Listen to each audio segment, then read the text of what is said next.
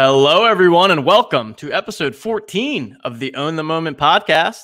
My name is TJ Lasig. I'm your host here at OTM. And as always, I am joined by my co host, the robot himself, the man that has been quite active in the new Herzig bot channel in our Discord, dropping all of the knowledge when it comes to what we are seeing in the marketplace right now. Mr. Justin Herzig. Justin, how are we doing tonight? Fantastic. We are in the middle of a another little boom the past 24 hours. We've seen prices starting to go up. We've seen excitement around all the challenges. Um, we are post NBA All Star game, and I think uh, I think there's going to be a couple more uh, hidden gems, a couple more sneak peeks around the corner that Dapper Labs has planned over the next few days or week. Yep, yeah, we're finally starting to see a little bit of a fallout from the crazy weekend that was NBA All Star Weekend. Obviously, we had the Rising Stars pack drop. We've had the Seeing Stars pack drop. So there's a, a ton going on. And of course, the hot topic right now is also the new kind of rules that have been placed on the marketplace. And we've also seen those kind of changing since they rolled them out. So what we're going to do today is we're going to dive into to kind of what, what we've seen in the marketplace, what some of these new rules are that we're working within, how we've seen them from when they were first implemented to what they've changed it to now. We're going to talk about the the rising stars and the seeing stars and the challenges with each of those. And then we're just going to talk kind of generally about the the concept of supply and demand. And obviously there was a ton of new supply pumped into the ecosystem over this past weekend, so we can talk a little bit about how that impacts the market both short term and long term and our thoughts there. How's that sound? That sounds great. Let's jump in. Great. All right. So let's start off with a bit of the state of the marketplace. So I, I have here the the kind of original rules that were put in place. So just to, to take a step back after the pack drop on Sunday, we did not see the marketplace reopen. I know that a lot of people were, were not necessarily thrilled with that. It was it was down for I think over a full day. And then when they came back, it came back with some some restrictions on what we could do, right? It wasn't just open up and everybody can go and automatically try to buy that lowest list ask. And the, the original restrictions were you can only purchase one moment every two hours. You can only list one moment for sale every two hours. And then you can delist as many as we wanted. They opened it up to delist at first, but then after that, it was one moment every 10 minutes that, that you could delist. So, really just I mean, my perspective on their move was trying to to slow down the action and and essentially avoid opening the marketplace and having to immediately shut it back down or trying to avoid that experience where you've got literally thousands of people trying to buy the same lowest ask moment. They've since moved it down to are we down to 15 minutes now? I believe at this time. So it's been kind of slowly moving down in terms of how frequently we can make these purchases. I know that you had some some original thoughts on this when it came out. So curious if you could kind of recap your original feelings on it, and then also have you have you changed your thoughts at all as you've seen them move from two hours down to one hour, thirty minutes, fifteen minutes, etc.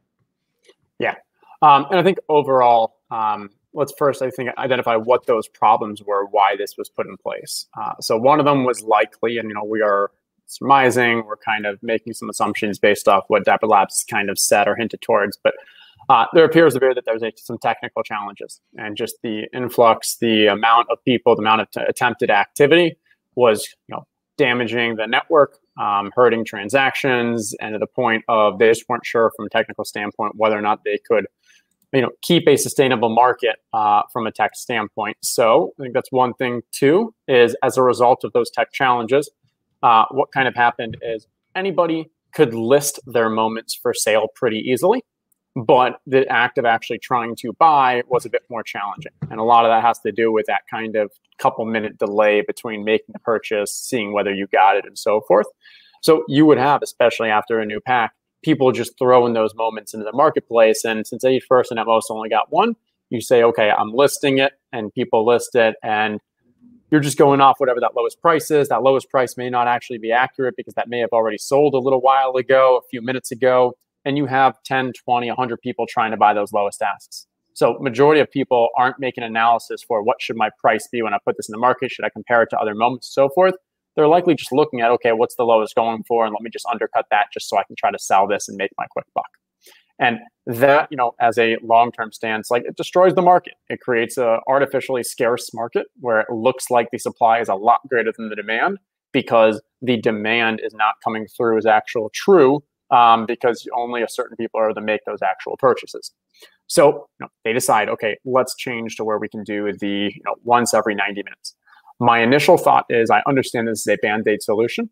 Um, and so I wasn't trying to evaluate the decision by Dapper Labs, but just trying to evaluate what the impact on the market was. And I feel like it initially had a negative impact. And so what I see is that you have a lot of people who are still fairly new, not really willing to invest significantly complete these challenges. So they'd rather just sell that moment that they just got in the pack. Um, normally that wouldn't be an issue because you would have high volume collectors who really identify that value and they scoop it up. But the amount of low volume collectors will always be larger than that high volume. And so it's kind of more that are putting their, you know, their SSs and their R, their seeing stars, their rising stars for moments you know, then we have the unique buyers that are trying to purchase. So I think that led to a inflow of people putting them for sale. And because you could only purchase one every 90 minutes, you couldn't have someone just say, hey, like, here's the value here. I'm going to sweep the floor. And so that saw those prices kind of drop. And we saw the rising stars, we saw seeing stars, we saw great values.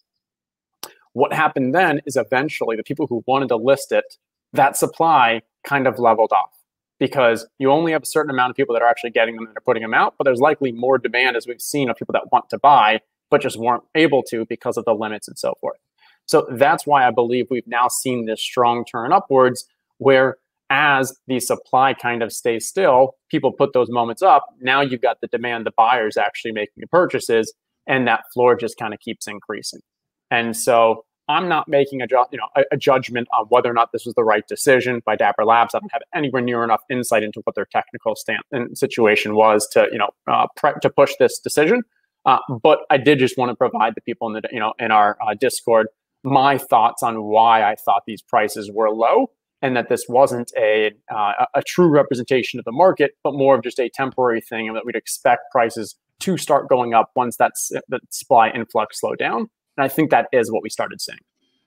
Yeah, and that makes a lot of sense. So I think, you know, to put it into an example, right, there could have been, say, there were four rising star moments that you felt were all at a good value. And each of those had 25 people that were looking to just sell each of those four moments at, at a lowest ask, right? So there's 100 of them total. Maybe in the past, someone like yourself would have gone in and bought one or two of each of those moments at a good value which would, and maybe there's 10 people like yourself doing that same thing. Now you were only able to make one of those purchases every two hours. And so for that reason, the lowest ask remained kind of artificially low for that, you know, 24 hour period because it just took longer for people like yourselves and other higher volume collectors to to be able to scoop up those low asks. So it definitely right. makes sense in terms of of how that broke down there. And I think, like you said, we we broke down the walls of, of those lowest asks, and now we've seen the market, especially for the rising stars and the seeing stars, trend very strongly upward over the past, say, 24 to 48 hours. And we are we're recording this on Wednesday night, for the record. And so, just from a most simplistic standpoint, I hear the argument of no, this is fair because you can only list and buy at the same rate, so it's a fair market.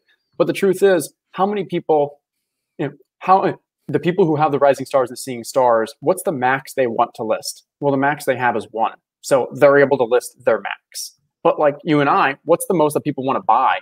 I want to buy at least 12 or nine to complete the challenges. I probably want to buy more. So the people who want to sell are selling as many as they can, which is just the one that they got from the pack. But the people who want to buy are limited to just those one every nine minutes, when in reality, I'd be trying to buy 9, 10, 12, 20, etc. And uh, that's where I think you can, when, once you have that thought of, okay, what are the people in the marketplace actually wanting to do? If there weren't these limitations, that shows us to, how can we get ahead of this? Because if we think out 12, 24, 36 hours ahead, when people, all those buyers are able to make the purchase they want, now it makes sense why we saw this upswing in the market because the supply kind of just stopped because they did everything they could. The ones who wanted to sell, they put it out there but the people who wanted to buy just took them longer to be able to make those purchases. Yep. And I, I, do think that that things actually worked out pretty well, just because we we avoided that that nightmare night where you're trying to buy everything and every single transaction that you try to make does not process. I think we can all agree that that's one of the worst experiences that that we can have at Top Shot. So, and, I like how quickly they, you know, scaled back from from two hours.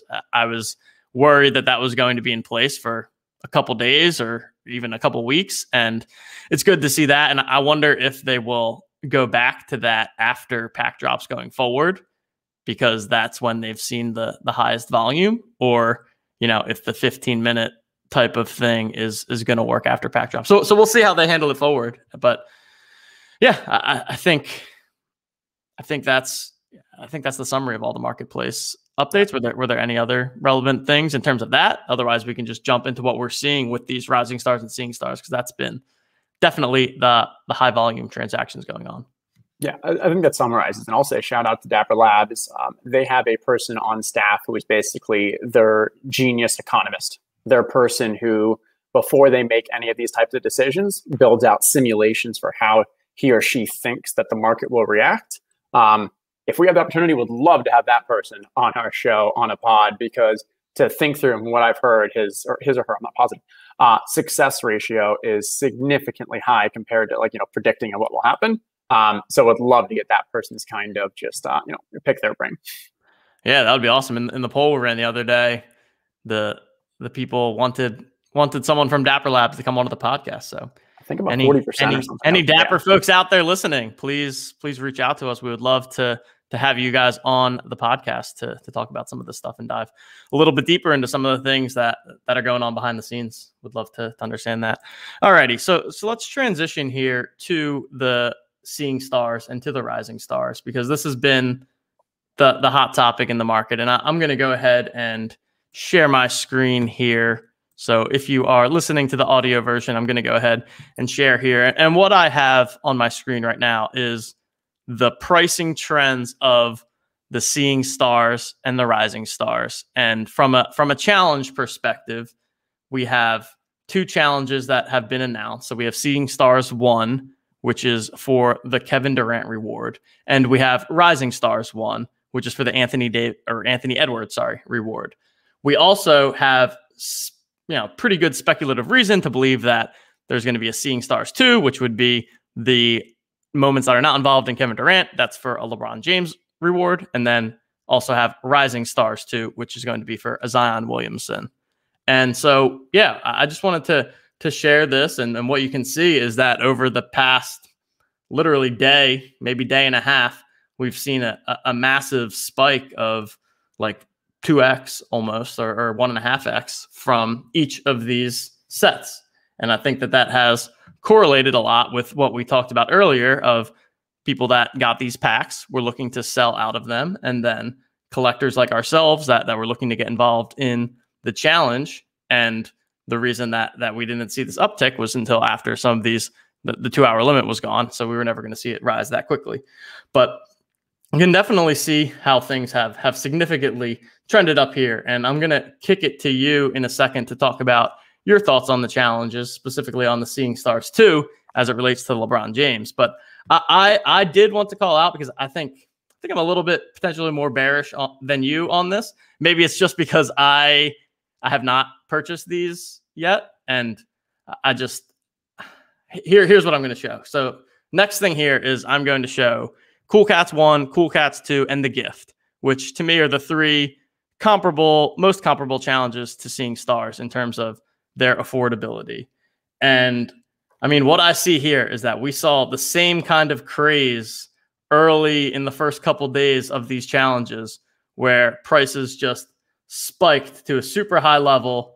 They eventually kind of normalized, came down, stayed relatively flat for a while, and then you can see them drop off the cliff after the challenge is complete. And so my my call out or my question right is is where where on these curves are we right now? Because it's possible that that it's just the first spike and and maybe they're still going to go up for the next couple of days. But i do think that it's likely based on the trends we've seen in the past that that there will be a pullback at some point in time here. And so for people like myself that have not yet bought into these challenges, I, I am not rushing in to do so because I, I don't want to get, you know, caught spending 4K on a challenge where the reward is only going to be worth 2K. So that that's just that's my somewhat cautious outlook on the challenges. Again, not that not that anyone can't compete in them. I still think it's a, a great fun part of this, but I'm I'm just wary that prices have really really increased in a short period of time, and will probably continue to do so. So I, will just caution against kind of FOMO buying the top because right. I think that's that's where we can get ourselves into trouble.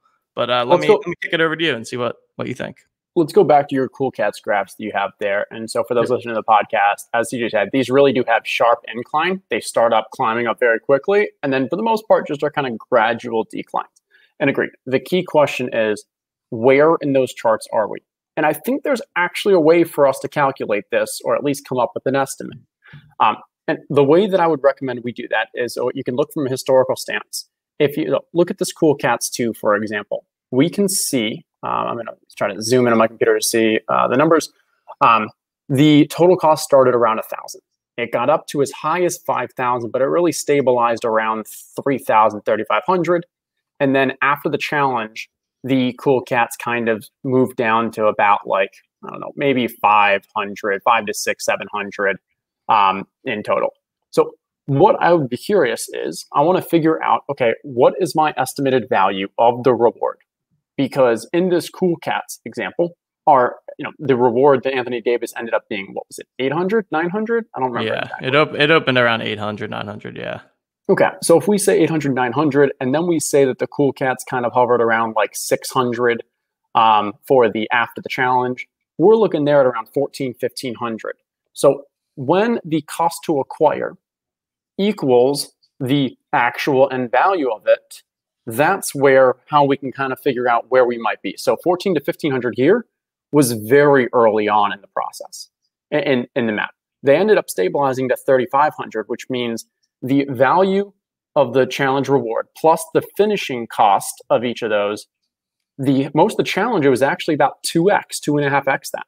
So the way that I take that to our challenge now, here, TJ, if you want to go back to the, like say, Sea Stars or Rising Stars, the way that I would estimate it is if we can figure out what the challenge reward value is going to be, as well as the price, the value of each of the moments after the challenge, we can compare that to see, okay, we think that the peak is going to stabilize around maybe 2x, 2.5x that. And so we can dive in, but like let's say for that Seeing Stars 2 with the LeBron, I think that's going to be worth around 2000. Um, I think that um, the post challenge value of those is going to be a little below 2000. So I think the cost to acquire is actually going to end up around four. Um, if it's around 4,000, that's kind of your break even, maybe somewhere between 3,500, 4,000 if you expect they're going to get the two two and x two x that, we're talking the cost to acquire at eight thousand, and right now we're looking at four thousand. Now this is no guarantee that it's going to get that expensive, but if we're just basing off those previous challenges, I wouldn't be surprised if the total cost to acquire these for the LeBron, say those twelve, ends up being around seven eight thousand, and for the KD, I think I'm thinking it's going to be worth a little less or so. Maybe that ends up around five to six thousand. And if that's the case, we can then use this as an example to say, okay, here's where we think we are on those charts. We know it's eventually going to go down, but if I can acquire it early on, then there's value in me completing it. Or if I acquire it at some point and not too late, I can either decide, hey, I'm not spending too much to do this. I'm doing it for the fun. I'm also having a chance at the serial. Or maybe I decide I'm going to try to find the peak. When this gets to maybe that 7,000, 8,000, maybe I decide, you know what, I don't want to wait the 40, 50 days for the LeBron challenge. So I'm going to flip mine and make my profit there. And I think that's the way that none of this is a guarantee. And I completely agree with TJ that at some point it's going to be not worth it to buy them all and complete the challenge. But I also am a strong proponent of if you got in before this, well done. That's where I was buying. If you buy right now, be cautious, but I still think there's an opportunity but just be smart about it and you know take this as your part of your process when you think about how you approach these challenges Yep, and I'm also curious with with the length of these challenges. Right, the the Durant one was announced; it's three weeks long. Then we speculate that the Le- LeBron one starts after that. Is that going to be another three weeks? Like, are we looking at at six weeks here? And then how many? You know, six weeks is a is a lifetime in Top Shot land. And how many new shiny objects are we going to see over the course of those six weeks? Right. I mean, Cool Cats was all the rage, and then Seeing Stars and Rising Stars. Cool Cats are are absolutely down in the dumpster right now because everyone ran to the new shiny objects, right? So Cool Cats 3 is likely to be released soon. Are people not going to care about Cool Cats 3 or are they going to say, oh, you know what? Seeing Stars prices are through the roof right now. I'm going to liquidate some of them and then go for the Cool Cats. I don't know. I'm, I'm just trying to wrap my head around. Yep. This is the, the first time that we've seen so many different challenges, I think, going on at the same time. It's always kind of been like, one and also I think we can pretty clearly see here with the with the fact that the Seeing Stars 2 is more expensive than Seeing Stars 1 that there are at least enough informed buyers out there that are aware that the LeBron challenge is likely to come. That and I'm sure there are still plenty of people that have no idea the LeBron challenge is coming, but uh, can definitely kind of see that that the market's a little bit more informed, a little bit sharper just in terms of seeing the next step. So really curious to see what's going to happen. And this is something that we're going to continue to keep an eye on. Neil in the Discord continues to provide updates on all of these challenges on a daily basis. We'll we will be continuing to do that. I know that you know he's texting me on the side like I can't believe you didn't buy all the Seeing Stars yet. I've got all 24. And uh, yeah, he he's got all 24 of them. I know that you have at least at least 12, right? Of the, the Seeing Stars 2. I've been actually taking a more strategic approach and not buying all across the board, but going hard on individual ones. So a few Anthony Davis, a few Giannis, a few you know places where I thought that there was value. Um, yeah. Because I was limited by those those sixty the two hours and so, right. and so I had to make smart, you know, sharper decisions. And sometimes I felt that it was better to, and I'll go through my process in a couple minutes about how I chose which ones to buy. But, but yeah. to your point, if we had the gift challenge right now, I don't think anybody would really be paying attention to it. Um, and where that where I'm kind of getting at is, I think the player that the challenge reward is is going to be very important in challenges going forward for people to want to complete them. Um, I think LeBron, even KD, like those are strong enough names that people are going to want to complete them. Um, for others, if it doesn't have that strong, you know, player name brand, it may not get the level of, you know, excitement. And I think the second is for the seeing stars and rising stars, because almost all of those, especially the seeing stars, um, almost all those players are like high value players to begin with.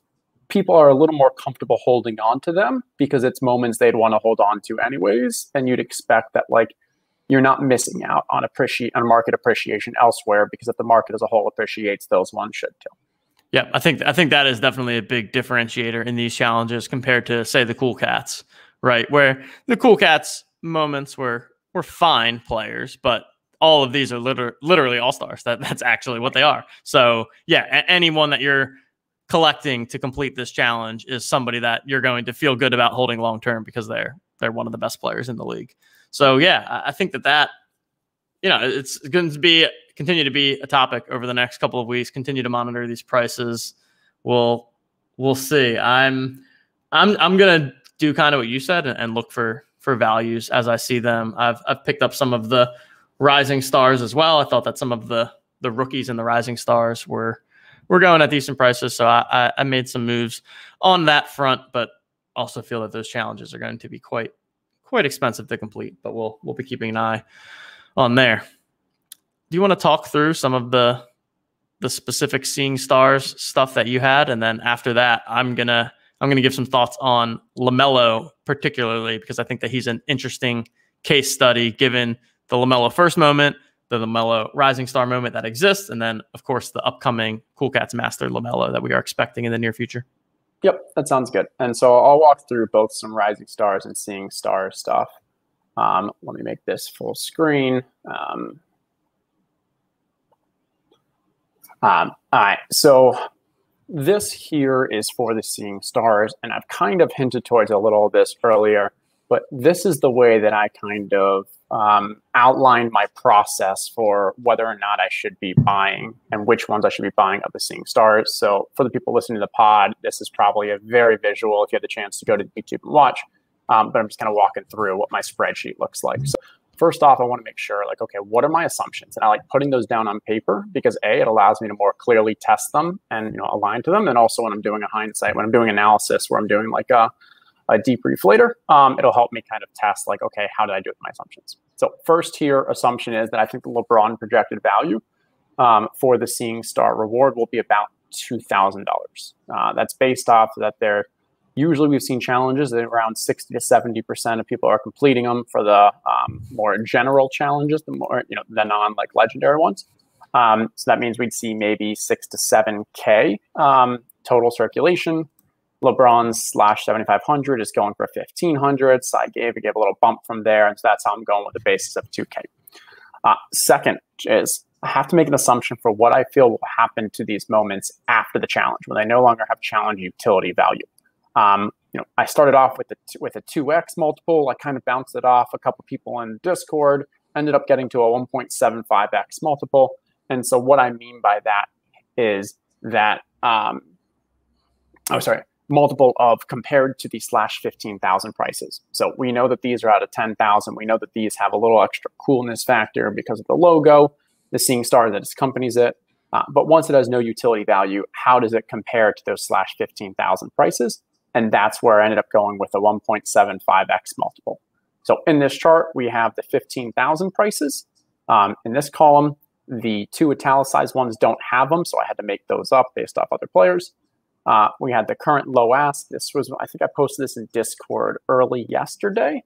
Um, so early Tuesday, so that's where these prices are based off. Um, and then post challenge guess was that, um, you know, the post challenge price is 1.75x times that 15,000. What does this give me? Okay, well, we know the cost to acquire, and that's just based off the lowest ask in the market. I then get what I believe that the post challenge value of those moments are going to be, because if I'm acquiring, if I'm doing the challenge, I've got those 12 moments, moments. I need to know what are they worth after the challenge, and here I have it at around $1,900, and then I have the LeBron projected value. So what we take is, okay, what is in my portfolio after the challenge? Well, I have $1,900 worth of those 12 and then I have $2,000 for the LeBron projected, so about 4,000. And what's my cost to acquire? Well, it's about 3,700. And so that's where we get to what the actual challenge value is based off those prices. And so this is where I'm like, okay, at this point, these are my assumptions. There still is a value to be buying and completing the challenge, not even accounting for that I could, you know, obviously sell at some point throughout if I feel that's a better value. But I'm right now just trying to isolate for does it make sense for me to complete this challenge? Um, and obviously, we can play with some of the assumptions. We saw that if I change the post challenge prices are only about one and a half x, that's about my break even point. Um, and so the last thing here, and I'll pause for you know if, TJ if you have any thoughts, but I then have what the current value is for me to decide. Okay, which of these players do I think are actually a value? Well, they might actually increase or decrease more throughout the challenge. And in this example, AD was the greatest value um, because what I was doing is just comparing the low ask price, the time for AD versus slash 15,000. And it was only a 2.5x multiple versus if you go to the extreme, you look at Sabonis, he's trending at almost 5 to 6x for his slash 15,000.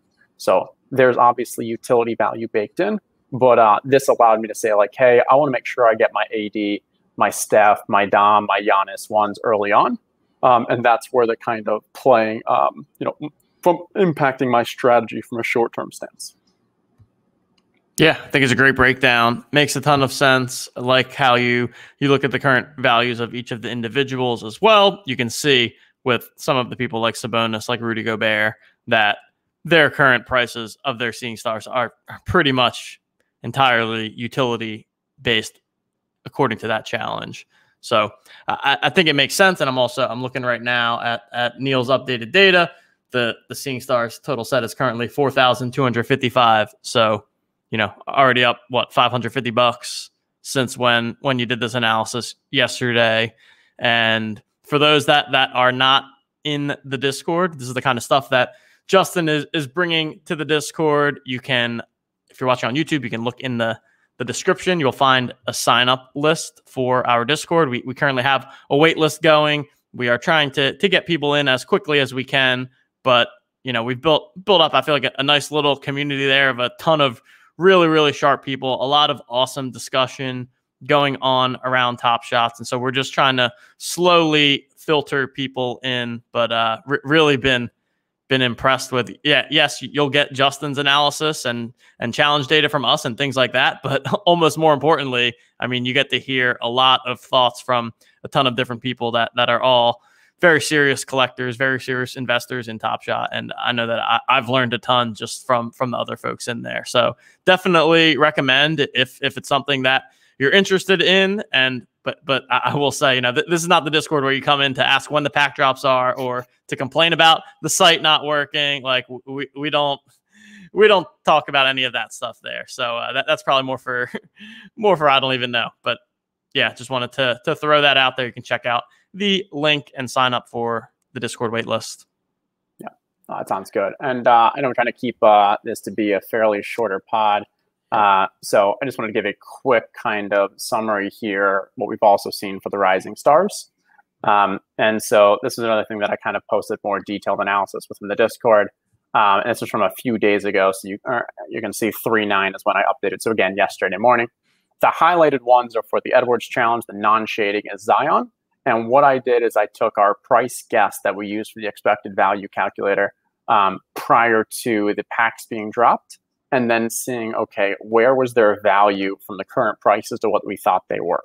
Um, and then we continue to adjust as we learn, and we see, okay, so specifically for these five that have slash 4,000 rookies, the multiple usually looks to be about you see 1.46, 1.15 is the range, and then Halliburton was just a complete outlier. For whatever reason, Halliburton's even, um, you know, his moment here was going for significantly less than his slash 4000. He was the only one of that. It told me that early on, just, uh, you know, people weren't baking in the utility value of these rising stars for the Zion challenge. Um, because as you can see, the Anthony Edwards ones are almost all here with the lower value. The top six are all for the Zion. So that told me that, hey, there was a buying opportunity there. And then I think you combine that with our larger analysis around how we expected that uh, there was going to be that drop in the market due to the supply in the 90 minute, uh, the, you know, the two hour, the 90 minute limits, but that they would be going up. So I think I ended up buying about three Halliburtons and then a few others on here as well. Um, and it'll be a decision whether or not I use it to complete the challenge because for the challenge, I think the cost to acquire them all is right now around like eight to 10,000. And again, I have the Zion reward, um, you know, significantly lower than that. We can go into that for another day, but uh, this is at least just how I was starting my process uh, for this. Great stuff. It's been it's been interesting to see, and I think that we've seen pretty clearly the the Series Two commons and even the Series One commons are are suffering a bit at the expense of of these challenges. And that's that's what i'm really trying to wrap my head around right is this concept of the the shiny new toy. And is there just going to be another shiny new toy in a week in two weeks? And is that going to then we'll see money liquidate out of the rising stars and out of the seeing stars. That, that that's you know we're hitting kind of a a new era within top shot where we've seen an influx of supply that that we have not seen over the past month, two months that we've been, I guess, two months at this point that we've been doing this. So it's kind of unprecedented times, and we'll we'll be more informed for the next times. One one specific thing I wanted to touch on briefly, and then we can talk very quickly about the the kind of new supply that came into the system, but is Lamelo because to me Lamelo has always been an interesting one. Prior to all of these new moments being released, Lamelo's common price absolutely skyrocketed. I think I recall correctly, he was close to like 7K at one point. I believe. He was at least 5K. I think he got close to seven, if not more. And so now the the first moment Lamelo is down at, I'm looking right now, low ask of 2,789. So he's come way, way down. And then we have the rising stars Lamelo. So keep in mind the original Lamelo will get the the what the triple badge because it's his first game, first moment, and the rookie. Now we have, and that's out of 4,000. Now we have this new Rising Stars Lamelo, which is out, which is a rare. It's out of 2021, so about half the supply, and that's going for for 4,990 lowest ask. So almost 2x what we're seeing with the Lamelo, which and part of utility has utility value, and and utility with the challenge, right? And and what I'm thinking about, right, is like, okay, the, the hot topic of two weeks ago was the Cool Cats Master Challenge. And oh, this LaMelo is going to be so valuable because LaMelo is valuable. And now it's like, well, there might be more Master Challenge Lamelos than than even this Rising Stars LaMelo. So is is that going to be less valuable than what we're seeing with the Rising Stars? And and I don't I don't know the answer, but what I what I do know or what I do think is that think about the people that that own this LaMelo, or eh, maybe not so much now, but over the past couple days, right? It's people that were fortunate enough to get a Rising Stars pack. They may or may not be serious collectors, serious investors in Top Shot. They may just be those people that are looking to get that pack, flip their LaMelo for 4,000, 4,200, 4,500, and they're thrilled with that. And, and that's fine. But what I think is that the people that complete the master challenge for that LaMelo are going to be much more of the long term collector, long term investor. And I, I, don't see those people, you know, just going through all of that time, effort, and investment to complete that master challenge only to put LaMelo up for for 4,000 after the fact. So kind of the the you know weak hands versus strong hands would be one thing that that I'm curious about when it comes to that master challenge because I think it's just going to be people that are, are a lot more strong handed, a lot more in this for the long term. But with that said, I mean, eh, I think the days of thinking that that LaMelo was going to be like 15k, that's that was probably never never correct. And again, it, it's all due to things that we we could not have foreseen coming. But uh, I'll be curious to see when all is said and done of these three LaMelos, which which ends up being the LaMelo in terms of you know his long term valuable rookie moment. Well, there's probably going to be a legendary that will actually be it. True, but that uh, I mean, if you compare the what we saw with Zion and Ja for those, like that might have a minimum price of seventy five hundred thousand dollars. Right. Uh, so like people are. I've also heard like being concerned, like, are we even going to value these because there's going to be a legendary? Like, yeah, there's going to be a legendary, and it's probably going to be what out of 99. Um, that's not going to impact the others. Now, this 2001 definitely does impact that future one because now it becomes the uh, most rare of the common ones. You know, not the real common, like of the general ones. Yeah. Um, so we we'll, we'll see. I think the fact that Luka is still such a valuable um, like player, I think, really helps um, from a sustainability standpoint. Uh, I do think when the other you know CCs start happening, there's going to be some bullish tendency and kind of pendulum swinging a little back. Um, whether or not that many people complete the CC3, I think some people have a sour taste in their mouth, but just the attention it gets is going to be a positive. And then also got to bake in like, hey, we still have a half an NBA season. And so if we're able to get increased, you know, amount of people into this ecosystem, uh, that's going to bring everything up. And especially for people who are now trying to start a new challenge that may be the cheapest challenge. CC3 might be the cheapest challenge that people have access to. It should be. Um, and maybe those people are then going to have increased interest to want to be, you know, getting the cool cats.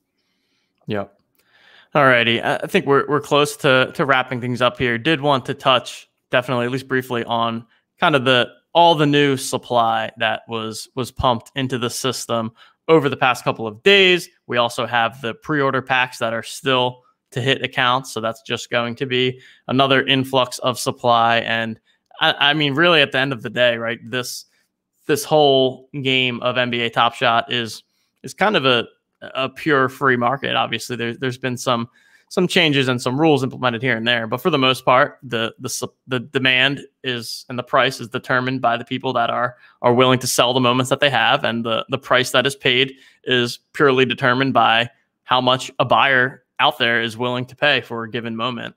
And I think it's just it, it's important to understand kind of the, the basic principles of supply and demand. And I think particularly what we want to talk about is is what is the the impact of this massive amount of supply that has been injected into the top shot system. What are the impacts short term medium term long term?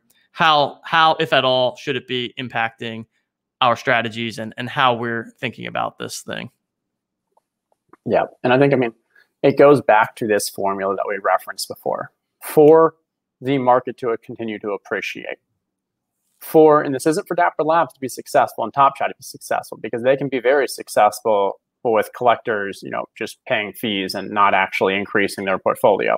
Uh, but for the market to overall appreciate and for our value to appreciate, the formula is we need more money in than money withdrawn plus money to Dapper Labs.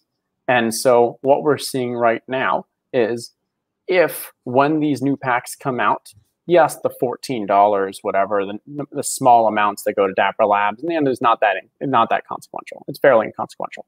Uh, what is relevant is when people are wanting to complete the challenges that are accompany that, which those cost between what we're seeing like 4K now for some of the seeing stars, for the rising stars, you're seeing 8 to 10K. Where does that money come from?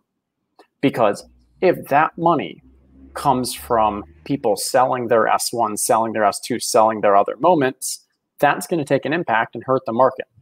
If they're bringing new money into the ecosystem, then you know we're actually it's actually improving overall because now we're getting new higher value moments and we're not hurting and it's not coming at the expense of the S1, S2. Um, and eventually, a lot of new money in will be a combination of collectors who love the product and want to continue to invest and you know put money in, as well as new people joining the ecosystem. And the problem is that latter point has been kind of put on hold. We haven't seen the amount of user growth because Dapper Labs has kind of put a bit of a pause on it. I'm not sure how many people are being accepted or how that kind of goes, but I mean, we do know that there have been some limitations from a technical stance from Dapper Labs that is preventing them from reaching that level of scale of the actual, you know, market demand or even you know actual paid marketing. Uh, so overall, I think this is more of a short-term impact. Um, I think the way that I'm kind of thinking about things is my short, medium, long. So from a short, I think the play is the challenges. I think that's the opportunity to really, uh, you know, get the the best uh, expected value from your flips and stuff playing that game. I think from a long term stance, it's probably still S1s and then first moments of players and probably rookies of players that are going to be successful. Uh, the rookies that, you know, actually hit. And then the medium term is probably what's in between. Maybe that ends up being the short term rookies and seeing, trying to get ahead of the curve on them. Uh, the ones that I'm probably most skeptical of is what happens to an S2 S2 superstars or S2, you know, non LeBron, but some of the really better players because a lot of the argument is, oh, well, they're great players. They're always going to have their moments. But when we see a lot more of those same players coming in, how do those hold up? And that's why I think from a long term, I'm even more confident. I want to have S1, I want to have rookies, and I want to have first moments because those will always be unique. Um, beyond that is where I've got to decide okay, it's probably more of a short term or medium play and I'm trying to just kind of play the top shot game. Makes a lot of sense. Yeah, and it's it's gonna continue to evolve. We're con- going to continue to see new moments coming out for all of these different players, like you said, and we've seen clear impact. We talked about the LaMelo, right? When when more moments are added for an individual player, it's going to impact their kind of overall market cap and and there's going to be a little bit of dilution that happens across the board. So we're going to continue to try and nail down those kind of short medium, long term opportunities. We'll be talking about that in our Discord as new strategies come up or, or new thoughts come up. And yeah, excited for for another week of Top Shot here. I think it's going to be nice. It seems at least like this weekend's going to be a little bit a little bit more laid back, a little bit more relaxing after a, a crazy crazy weekend and last weekend for All Star. And and I think that I think that's fine. I think we you know allow the market to kind of settle in allow the the people that wanted to sell to get their sales, allow the people that want to be able to buy up additional moments out of value to buy those up. And I think that uh, we're really gonna hit a, a, new stable point here, and I'm excited to see what happens next. So, all righty, any any final words, Justin? I think that we've covered it all. Yeah, no, this is good. And uh, as we said, um, looking forward to continuing. I learned actually a lot from a couple people this morning uh, in the Discord. People just kind of throwing out some analysis and some some bouncing some ideas back and forth. So if people are interested in that, people are interested in kind of contributing and digesting from a more kind of you know analytical version. Um, I think we're going to put the waiting list sign up in the link, eh, you know, in the information link, whatever. If you can't find it, send us a DM and we can get you on that wait list. Um, you know, really excited to continue to chat with all of you. Yes, sir. Check out the the wait list in the description of the YouTube video. While you're at it, hit that thumbs up button if you enjoyed the show. And that'll do it for today. So, on behalf of Justin, on behalf of producer Coop behind the scenes, I am TJ Lasig, and we will see you guys next time.